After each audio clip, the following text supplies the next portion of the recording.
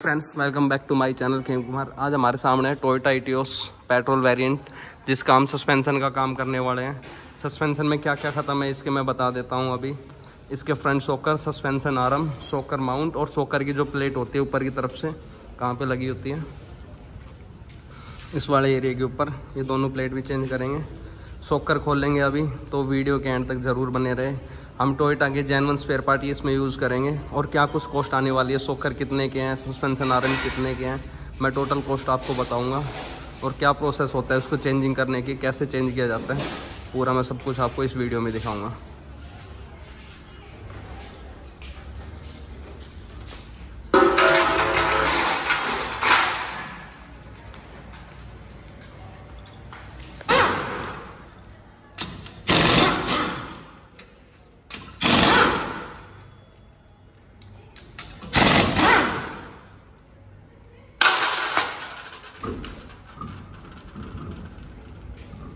आगे से सस्पेंशन इसके बहुत ज़्यादा आवाज़ कर रहे थे।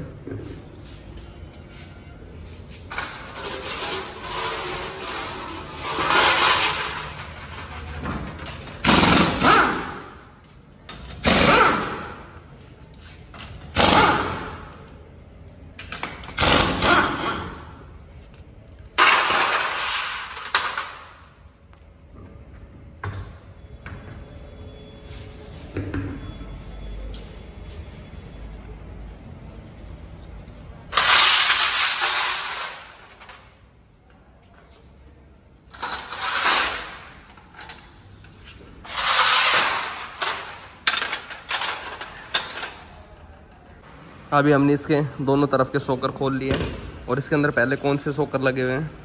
ये देख सकते हो आप मोनरो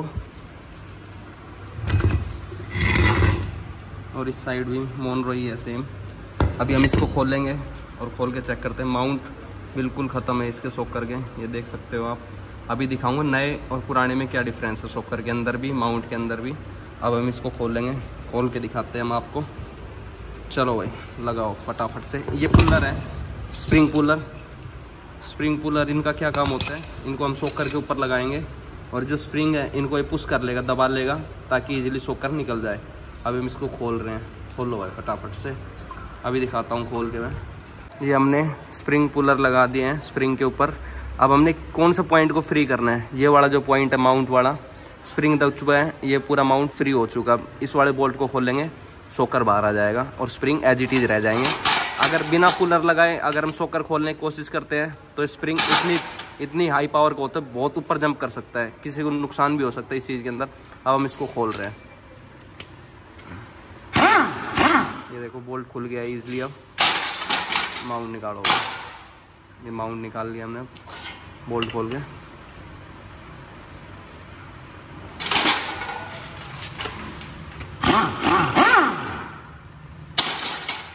बोल्ट खुल चुका है।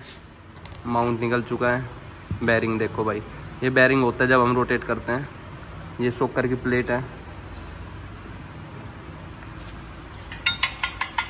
सोकर दिखने में बिल्कुल सही है। बाकी जब हम गाड़ी अगर रफ रोड पे लेके जा रहे हैं, हल्के से भी गड्ढे में जा रहे तो गाड़ी बुरी तरह से आवाज़ कर दबा भाई इसको उल्टा करके। ये देखो।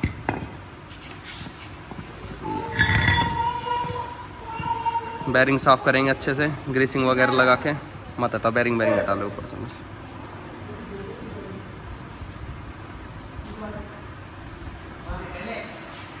सोकर लेके आता हूँ मैं नए, जो इसमें हमने फिट करने हैं टोयटा के। जी हमारे पास इसके सोकर और सस्पेंशन आरम और सोकर माउंट तो दिखा दूँ मैं आपको। माउंट आप देख सकते हो। टोयोटा के जैन आफ्टर मार्केट जब भी ये जो पार्ट आते हैं टोयोटा के तो इन पर रेट कटिंग होती है। देख सकते हो, आप माउंट और यहाँ हमारे सोकर, टोयोटा। और यहाँ पे निकालो भाई, सोकर निकालो।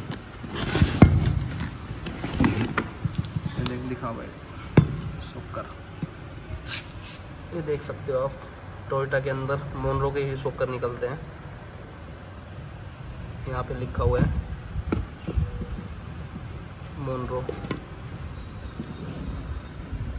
दबाओ भाई, इसको दबाना एक बार। ना ना ना ना, ऐसे नहीं, सीधा करके, हाथ से ही। कितना टाइट दब रहा है। और वो जो दबाया था पहले, वो दबा के दिखा एक बार पुराने वाला।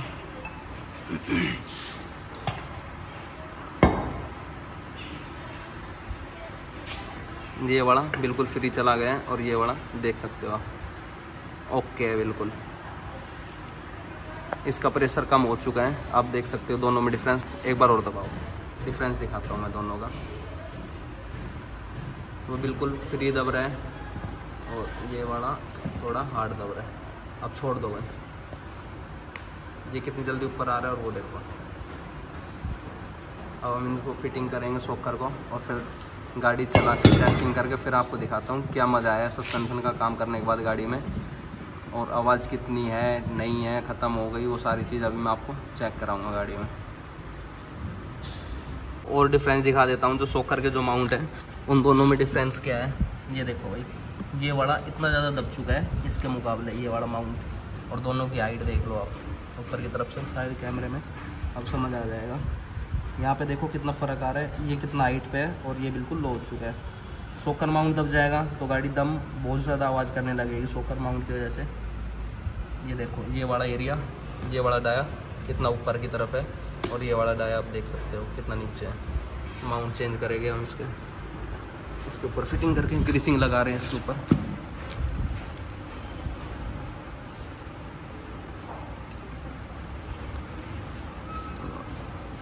नया माउंट लगा दिए स्प्रिंग हमारे ख़राब नहीं होते हैं। स्प्रिंग किस पोजीशन पे ख़राब होते हैं? या तो बैंड हो जाए गाड़ी कहीं, ज़्यादा गड्ढे में टूट गई स्प्रिंग बैंड हो गया या टूट गया, उस पोजीशन पे स्प्रिंग चेंज हो जाता है। नहीं ओनली सोकर सोकर रिफिल रिफिल चेंज कर दी जाती है। विदाउट स्प्रिंग माउंट हमने चेंज कर दिया है बैरिंग के हमने अंदर ग्रीसिंग कर दी है। मैं इसको एक बार कसवा देता हूँ थोड़ा सा ओके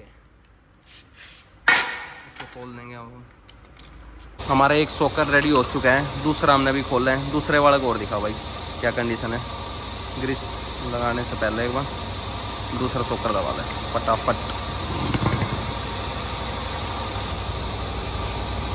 ये लो भाई बिल्कुल फ्री एकदम। जब हम इसको पुश कर रहे हैं तो बिल्कुल फ्री जा रहा है बिल्कुल फ्री ये देखो। कट कट की आवाज़ ये ये ये ये नॉइस दूसरा वाला, नया वाला निकालो। नया वाला, ये ना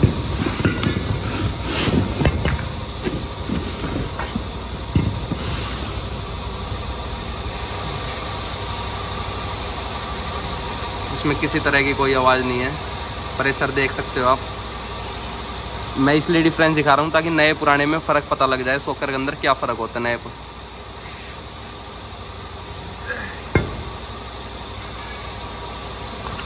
अब इसको हम फिटिंग करेंगे।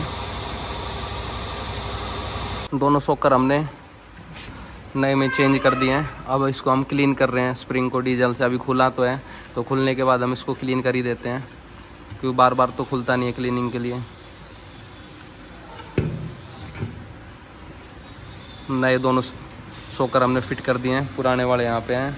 दोनों सोकर माउंट हमने चेंज कर दिए हैं।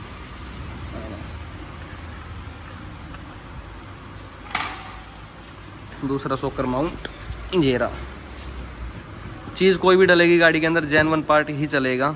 जैन वन पार्ट की लाइफ होती है। लोकल पार्ट की कोई लाइफ नहीं होती है। तो मैं रिकमेंड करूँगा गाड़ी के अंदर जब भी आप काम कराएँ, कहीं पे भी कराएँ तो जैन वन पार्ट ही अगर अवेलेबल हो तो जैन वन पार्ट ही लगाए। बाकी उसके अलावा, जैसे अभी मोनरो के हैं कंपनी जैसे हमने टोयोटा के लिए थे टोयोटा के अंदर मोनरो के ही निकले तो आप आफ्टर मार्केट मोनरो के भी लगवा सकते हैं। मैं रिकमेंड करूँगा मोनरो भी लगवा सकते हैं, क्योंकि मोनरो और गैब्रियल ही मैन्युफैक्चरिंग कर रही है। सोकर को। तो काफ़ी अच्छी कंपनी है ये। इसलिए ओ के अंदर आती है। ओरिजिनल इक्विपमेंट मटेरियल के अंदर ये प्रोडक्ट सप्लाई हो रहे हैं कंपनी के अंदर।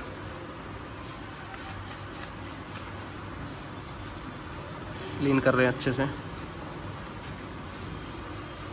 वहाँ पे हमारे दोनों सस्पेंशन आर्म रखे हुए हैं, जिसको अभी हम लगाएँगे। दिखाता हूँ उन सस्पेंशन आर्म के अंदर क्या हो रहा था, क्यों हम इनको चेंज कर रहे हैं।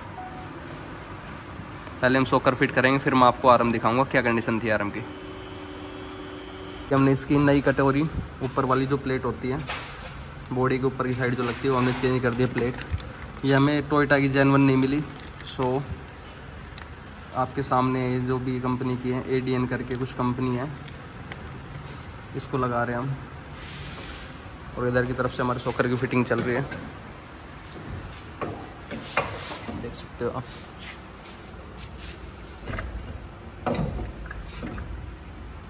हमने इसके दोनों आर्म खोल लिए और कंडीशन क्या है आर्म की? ये वाले बुश सही है। बस ये इधर से कटा हुआ है। सबसे बड़ी मेन प्रॉब्लम कहाँ से थी?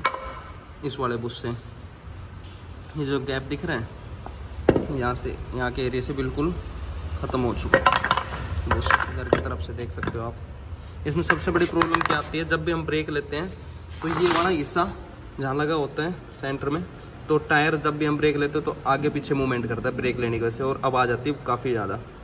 सेम इसकी पोजीशन थी और सेम इस वाले सस्पेंशन आराम की। हमने पहले भी इसके आराम के बुश चेंज किए थे तो पता लग गया है कि आराम के बुश चेंज करने का कोई फ़ायदा नहीं है, क्योंकि जो आफ्टर मार्केट जो बुश आते हैं, उनमें प्रॉब्लम ये क्रिएट हो ही जाती है। क्योंकि बुश हल्के होते हैं और चलते नहीं हैं। अब हम इसके नए सस्पेंसन आराम चेंज कर रहे हैं, जो कि टोयोटा के जैन वन है। ये देख सकते हो आप। यहाँ से देख सकते हो। और एक ये वाला आराम। दोनों। इनको चेक करेंगे चेंज करके, फिर इसके अलाइनमेंट कराएँगे। अलाइनमेंट करा के फिर चला के चेक करते हैं गाड़ी को, क्या पोजीशन है।